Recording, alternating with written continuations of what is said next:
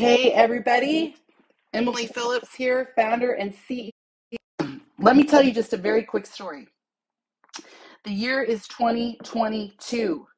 The beginning of the year started out really well for me. We started Just Lean In, one of the most exciting times of my life, on a constant high, doing the things that I love to do. Great, great, great start to the year. Then come mid year, comes mid year. Husband gets bit by a snake. Very scared. We thought he wasn't going to make it. Thankfully, he did, but it was extremely stressful time. This went on for about two weeks. Um, and it was very, very, very scary and probably added a lot of fight and flight response to my body and added stress. Second thing that happens my son, Bo, gets diagnosed with some pros- uh, sensory processing problems. As a mother, you know there's nothing more stressful than thinking there's something wrong with your child, especially me, because for me, I'm also an entrepreneur. I am not, I, I, I work and I'm a mother. And so this was a very big challenge that came to me, and I had zero idea of what to do and zero idea of how to fix it. And I was deeply scared. Um, so begin grieving that situation. Third thing happens I get COVID and flu all in one week. Great to see you, Rita, on the call. That was a very, very, very sick time. It was the week of August 25th. I was extremely ill that week, and so was my mother. The following week, my brother passes away, my only sibling, 41 years old. The most devastating event and trauma of my life. So you take snake, Bo, sick, death, very, very difficult times. Now, I don't share this to say I'm having a rougher year than you. We all are faced with tragedy. I hope that you don't have to go through the one I recently did, experiencing a death and unnatural order. But what happens is, is it's not what happens to us, it's how we react to it. Now, the first couple of weeks after Chris died, my body did a double take. I lost 10 pounds because I wasn't eating. And then as I started eating again, I gained it back and more. So over the last couple of weeks, I've started my own program back with Just Lean In, and I have had to make conscious decisions to start it. When I asked the question in this video, I specifically said, Do you feel that you deserve to lose weight? Well, what I mean by that is, do you really feel that you deserve to lose weight? And we've talked about if you go back into our feed and you type in self sabotage in Facebook, you will see a live video that I did about self sabotage. And what that means is, is if you weigh 165 pounds and you're trying to lose 10 pounds, and you get to 160, your body naturally feels uncomfortable, even though it's going in the right direction. So you will naturally eat more to gain the five back. I know, sounds crazy, but it's a real thing and it happens. Stacy, McGuire, O'Neill, great to see you tonight. So what you have to consciously know and do is feel like you are going to deserve the weight loss and reset your goals because we all create self-sabotage. And i do a whole a whole series live on this. If you type in self-sabotage in this group at the top of the search bar you will see how that works. When i talk about pain versus pleasure let me give you an example today.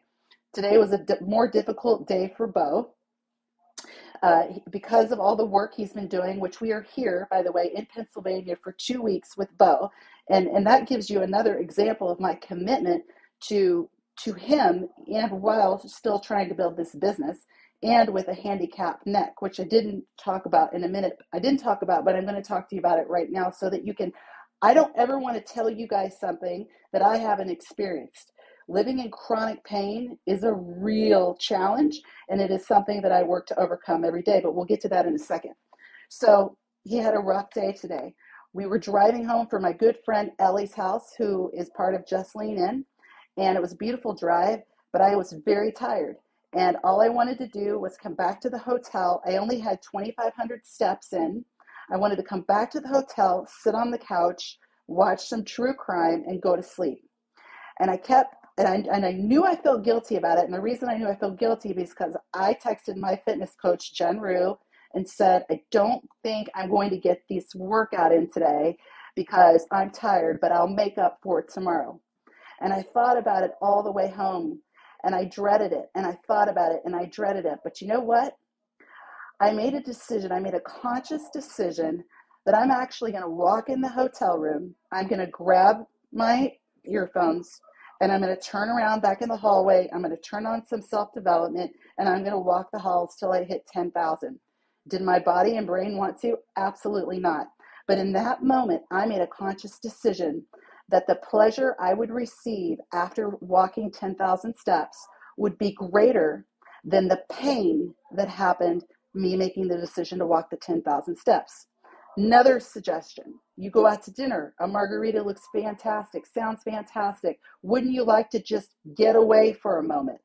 Does the pleasure of getting away for a moment, really dehydrating the body, screwing up your insulin, and retaining water for days and getting out of and getting off track maybe saying things that you didn't want to say doing things you didn't want to do maybe getting in arguments that you didn't mean to get into because yes tequila does that to people is that worth is that worth that moment of pleasure is that worth all the consequences or is a topo chico with lime and having real deep depth conversation is that better and experiencing success and relief as you have a good night's sleep and are productive the next day? I don't know. You answer that question for me. What is more important to you? The 20 or 30 minutes of kind of leaving your brain for a minute, lowering your inhibitions, and then experiencing all the things we talked about? Or is it better to have that Topo Chico with lime have an in depth conversation where you're fully aware of everything you're saying and having a good night's sleep and getting productive the next day. You tell me. So, one of the things that I want to talk to you guys about tonight is every single decision that you make on a daily basis is either going towards your health or against your health. And you're probably thinking, what do you mean every decision? Well, that's right. Every single decision. When you wake up in the morning, what time do you wake up in the morning? That affects your health. How do you wake up in the morning? Do you get up and drink a hot cup of coffee first, or do you grab some water? That affects you. Do you brush your teeth or do you not? Yes, tooth decay has a lot to do with your health. Do you get up in the morning and immediately turn on the news? Yes, that affects your mental health. Do you get up in the morning and journal or read or or spend some time with your children? That has an effect on your mental health. Do you have a cluttered place? Is your house cluttered? that affects your health. That can affect your mental health, which can affect your weight loss. A lot of times, if you want to know how somebody's feeling on the inside, look at how they present themselves and look at their environment. And it's a really good indication of what's going on on the inside. Next thing, what do you do the mid afternoon? If you want to take a 30 minute, if you're a napper and you have an opportunity to take a 30 minute nap, that might be a good solution. If naps don't work well for you, it might turn into a two hour nap and slow you down for the rest of the day. Is grabbing a, a handful of Skittles, is that pleasure so important that you're willing to, to get the pain 30 minutes later that's going to occur from that? Making the choices that we provide and just lean in. Are you willing to make those choices to receive the pleasure later? Some of you might say, I would take the Skittles. That's okay. But just ask yourself these questions Are you willing to make small, what you think are sacrifices to get the pleasure later? I got my 10,000 steps in. My brain is on fire. Rita has been retweaking my, my program for Just Lean In, and I'm extremely focused.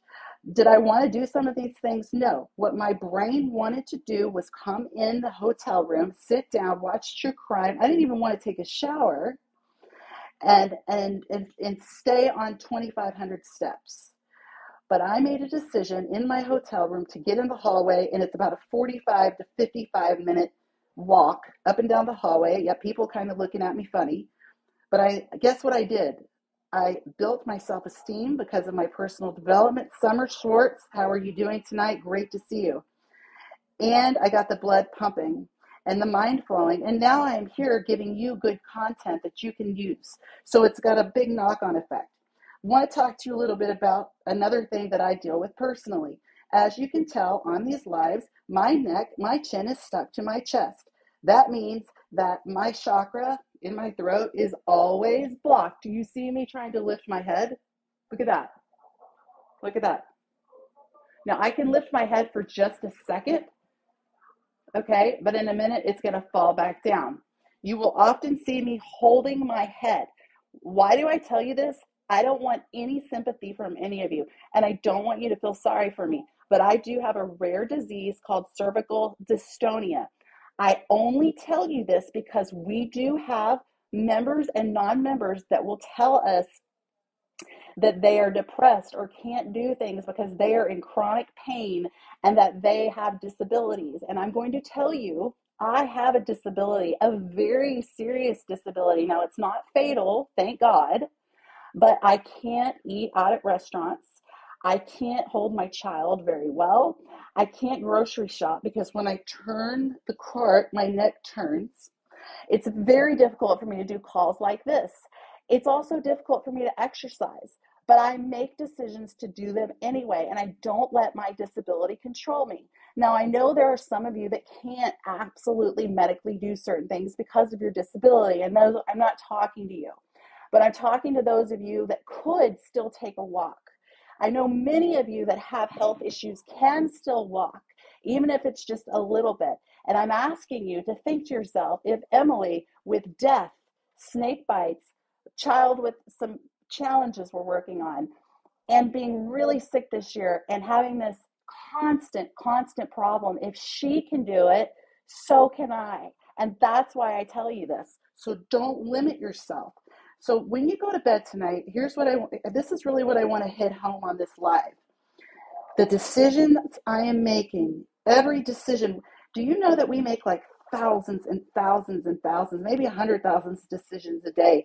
We think about when we put our watch on, which arm does it go on? When we put on a shirt, when we put on a bra, when we brush our teeth, when we're going to take a shower, what we're going to watch, what we're going to look at. And technology has made it so much worse. Every decision that you con- try for the next 24 hours to be incredibly conscious of every single decision you make. From the time you go to the bed to the time you wake up, how much water you're drinking, what you are eating, what you're not eating, how much you're moving, the language you're speaking to yourself. The language you speak to yourself, yourself listens to.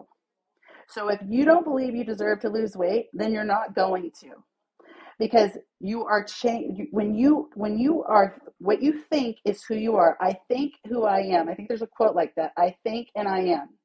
There's a great book i'd recommend. It's called as a man thinketh so is he. Now i'm a christian and i believe in jesus christ and i believe he's the son of god but i also believe there's energies out there and i believe we attract what we think about.